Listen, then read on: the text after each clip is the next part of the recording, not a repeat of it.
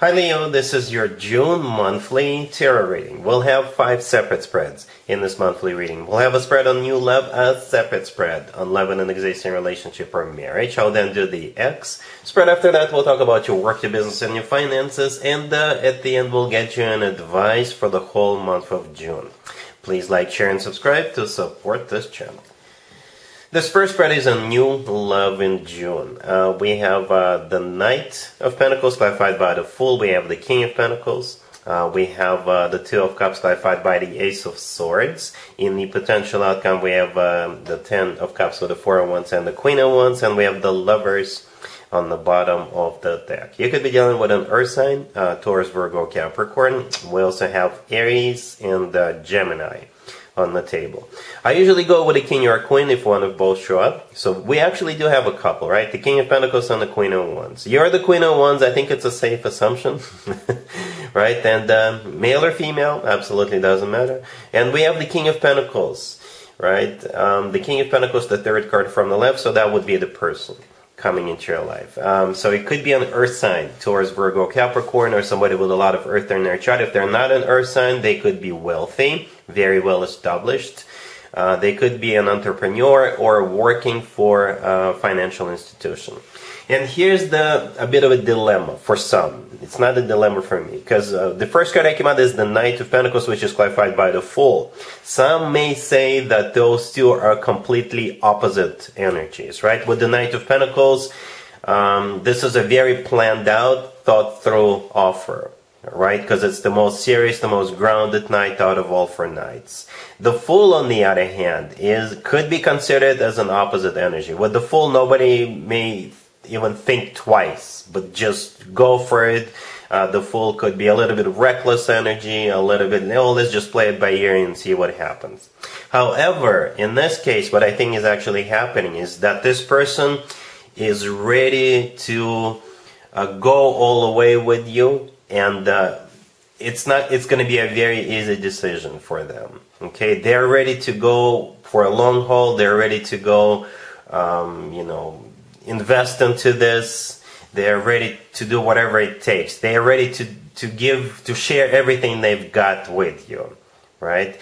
And uh, with the Fool card, they're just going for it because they believe you're the love of their life. It's going to be a very easy decision for them. I hope that makes sense. Even though those two are opposite energies, but this person is prepared to do whatever it takes, invest into this, share everything they've got with you.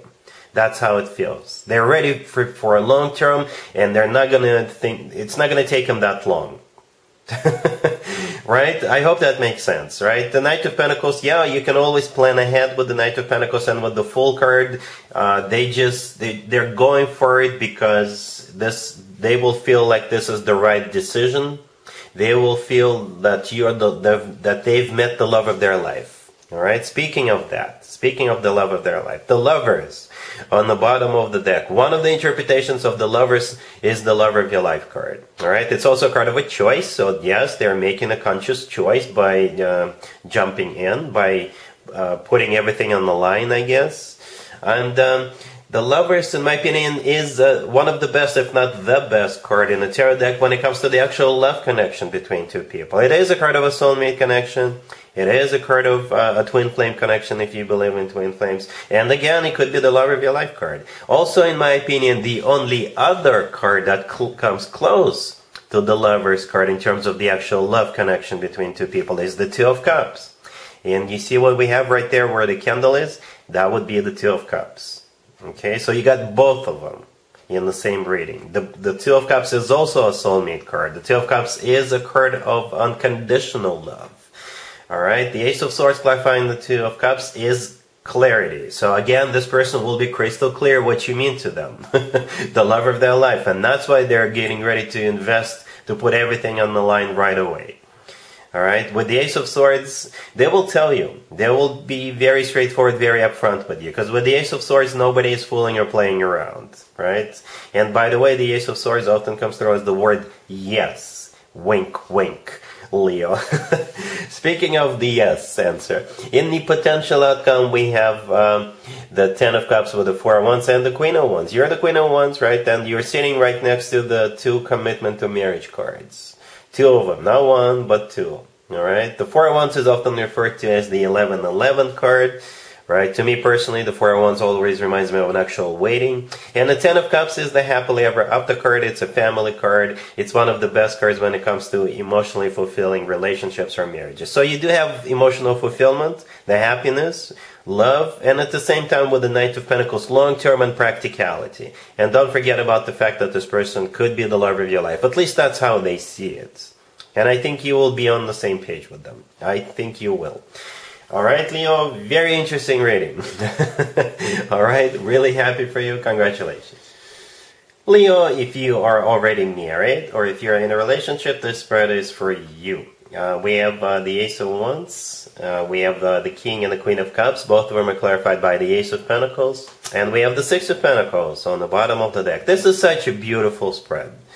Leo. It really is. Look at this. The King and the Queen of Cups, two aces, and the Six of Pentacles. That's just amazing. The King and the Queen of Cups in my readings are the ultimate love couple. I don't know if you're you have been the ultimate love couple. If you have, then it's going to be business as usual. But perhaps something about the June, you know, will make you the ultimate love couple. This is when people feel the same way towards one another. Both people are on the same page. Both people speak the same love language both people finish each other's sentence. You get the idea, right? The Six of Pentacles on the bottom of the deck is a card of balance, equal give and take, right? Partnership, equal partnership. And we got two aces, the Ace of Wands and the Ace of Pentacles. I think you're getting ready to start something, right? Aces are usually new beginnings. And uh, both of you are on the same page. The Ace of Wands is a card of passion, but you could be passionate for each other or passionate about some kind of a project that the two of you want to do together or what have you. And the Ace of Pentacles clarifying both of you, yeah, go for it. it's a it's a card of a golden opportunity. It really is. Whatever you're about to start, whatever journey you're about to embark on is is a golden opportunity. All right, and uh, yeah, it's it's just such a great reading, Leo. Congratulations. Let's see if anybody comes back from the past for you, Leo, this uh, month. Keep in mind, it doesn't have to be the most recent ex. We have uh, the Two of Cups, the Queen of uh, Swords, clarified by Temperance. We have uh, the Star, clarified by the King of Wands, and we also have the Eight of Wands on the bottom of the deck. You could be dealing with an air sign, uh, Gemini, Libra, Aquarius. We also have um, Sagittarius on the table. I think you're the king of wands and you're dealing with this queen of swords, right? Male or female, absolutely doesn't matter. We all have both feminine and uh, masculine within us, right? But uh, yeah, that's what we have. That's what came out. right? You're the king of wands, they're the queen of swords. And it kind of feels like there's going to be an opportunity for you to patch things up right? There's two cards in the tarot deck that could be interpreted as cards of healing. Both of them are on the table. Temperance and the Star are those two cards. The Star could be an Aquarius. If this Queen of Swords is an Aquarius, it makes total sense, right? But uh, yeah, those are the two healing cards, and they both are major Arcana cards. And those are the only two major Arcana cards on the table. The Eight of Wands um, on the bottom of the deck could be a card of travel, a card of communication. All right, it could also be a card of Cupid's arrows. And uh, the Two of Cups, the first card that came out is um, a soulmate card. One of them. There's multiple soulmate cards in the tarot deck, and that's one of them. Okay, so I think it's a chance of patching things up. I don't know what you're going to do, but um, you will have an opportunity at some point to patch things up. All right? Cool. Let's talk about your work, your business, and your finances, Leo, in June. We have uh, the High Priestess, Justice, uh, the Ace of Swords, clarified by the Nine of Cups, and we have the Three of Cups on the bottom of the deck. Um, I don't think zodiac signs really matter. Uh, this is a very specific uh, reading, Leo. Uh, this reading is about some kind of a decision or a verdict that's going to go in your favor. Okay? If you're in the middle of a lawsuit, or if you will be filing for a lawsuit, or um, you will have your victory. Okay? Um, it could be a decision to grant you something, to give you something, something perhaps you thought you were entitled to. Um, it could be a government organization giving you something, assigning you something, something among those lines, right? Justice, right there with the Ace of Swords. Uh, it's that decision. So justice could be literally a government organization, or it's just something that's going to go in your favor, right? The High Priestess to the left is a card of something hidden, something unknown. So perhaps that's the uh, energy you're going to be sitting in or have been sitting in. You don't know how it's going to go. Or perhaps they're making a decision behind closed doors, right? In the, uh, there could be a jury, there could be just a judge going back to their little room and, uh, you know, making a decision. And that's why you're not aware of it. Okay, but again, yeah, I think it's going to go in your favor. You see how in, in the justice card, the person in the justice card is holding up scales and a sword, right? And uh, the ace of swords right next to justice is exactly the sword that the person in the justice is holding up, right? The three of cups on the bottom of the deck is a card of a celebration, all right, all right. And as I was clarifying the ace of swords, I simply asked, what's the uh, What's the outcome? How will Leo feel about this? Then the Nine of Cups showed up. The Nine of Cups is a card of uh, satisfaction, okay? And it's a card of a wish come true. So I think you'll be definitely satisfied with the outcome. So hang in there. If you still need to do something about it, keep doing this. Don't just relax. keep keep doing this, and uh, you will you'll be satisfied in the end. I hope that makes sense. All right, cool. Here's an advice or a word of wisdom for you, Leo, for the whole month of uh, June. Uh, we have the Queen of Pentacles clarified by the Page of Pentacles. Uh, we have the Five of Swords. Uh, we have uh, the Queen of Wands clarified by the Ace of Swords. And we've got the uh, Four of Cups on the bottom of the deck. You could be dealing with an Earth sign, Taurus, Virgo, or Capricorn. if, or rather when, this Queen of Pentacles shows up or shows back up, and offers you something, Leo.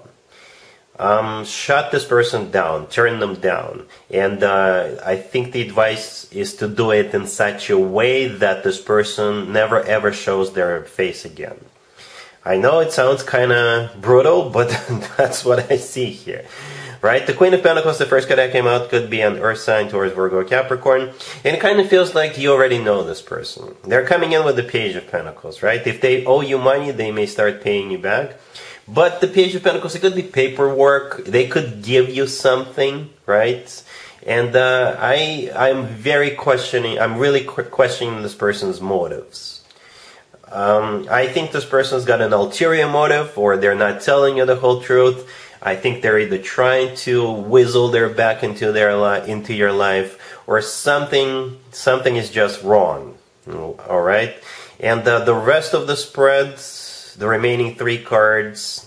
Uh, right, uh, the five of swords, the ace of swords, and the four of cups. This is you rejecting them, and uh, it's in the matter that uh, if this person doesn't get the message across the first time when you get when you're being nice to them. Then uh, make sure they get the point across by by you know insisting, I guess, in a way that they may not even be happy about the fact that they showed back up. That's how I see it, right? The Queen of Wands is clarified by the Ace of Swords. The Ace of Swords is a very sharp object. okay? With the Ace of Swords, this is you being very honest, very straightforward, with this person. The Five of Swords to the left uh, from the Queen of Wands. This is a card of when somebody slams the door into another person's face. Okay, and the Four of Cups on the bottom of the deck is a card of a rejection. So you see, the universe just wants you to be crystal clear about not inviting this person into your life or not inviting this person back into your life. And but I think they will try with the Page of Pentacles. It kind of feels like, like I said earlier, they will um, try to whistle their back in or to try to kiss your butt or something like that. All right, so that's one interesting uh, advice, but that's what we got. All right, Leo. So yeah, that's what I have for you for this reading for this month. If this video resonates with you, please like it. Please also share and subscribe. And other than that, Leo, have an amazing month.